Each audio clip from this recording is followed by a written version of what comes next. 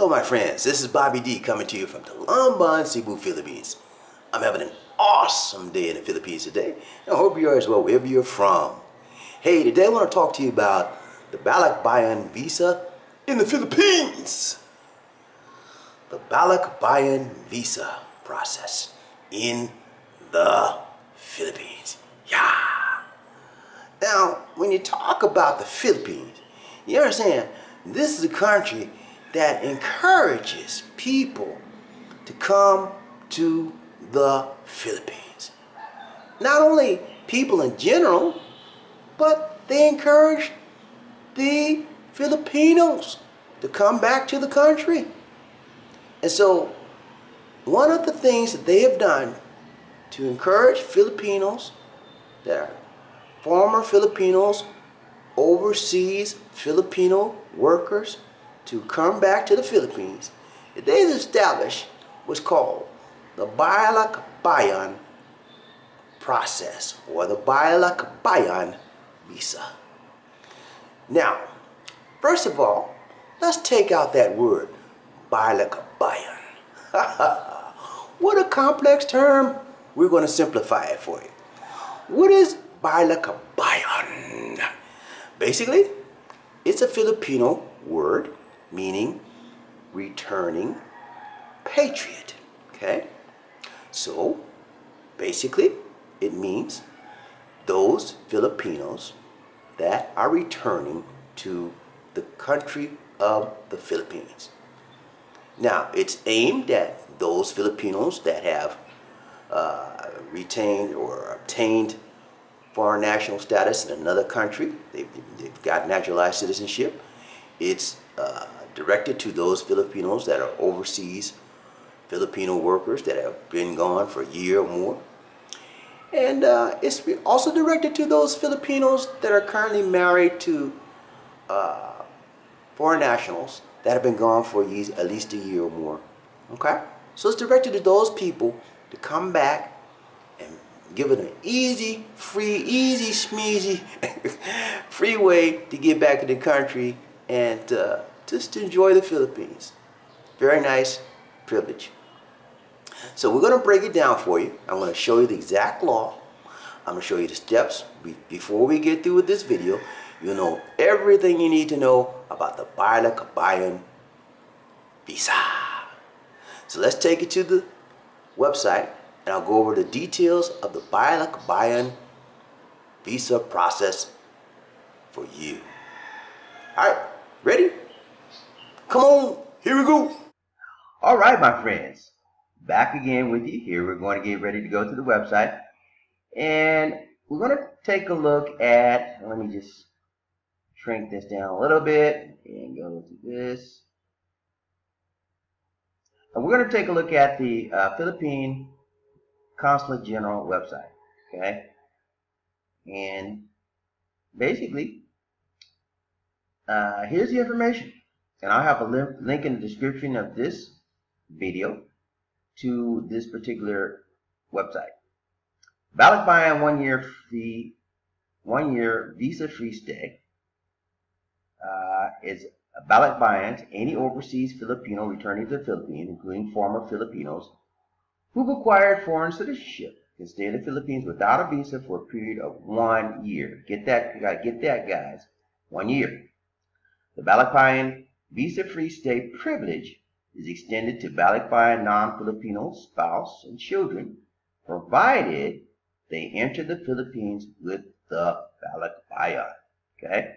So what does that mean? It means you can get, if you're married to a Filipino, uh, married to a Filipina, or Filipino for that matter, you can you're a foreign national when you both come into the country after you've been after that Filipino or Filipino has been gone for one year, at least one year from the Philippines, you can return to the Philippines with your spouse and you the foreign and, and Filipino or Filipina can take advantage of this Balikbayan visa with their family as well as themselves. Okay?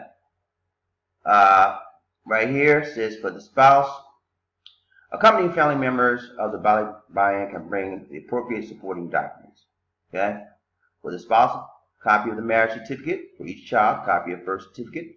For adopted children, copy of adoption papers. Philippine law uh, 9174 provides benefits to the Balikbayans. Tax-free, maximum purchase in the amount of USD 1500 or the equivalent of the Philippine and other currency at Philippine government-operated duty-free shops. Exemption from the travel tax, provided that they, their stay in the Philippines is one year or less. If they stay in the Philippines exceeds one year, travel tax will apply. All right, so there you have it, guys. Pretty much, it's a simple uh, process. I'm going to go over some other things. I'm going to take a look at the uh, website for the Bureau of Immigration and see what they have to say about it as well. Now, don't just ignore that warning sign right there, guys. It's a software problem on the website. Don't worry about that. Okay, so number one, who are eligible under the Balikbayan program? Okay.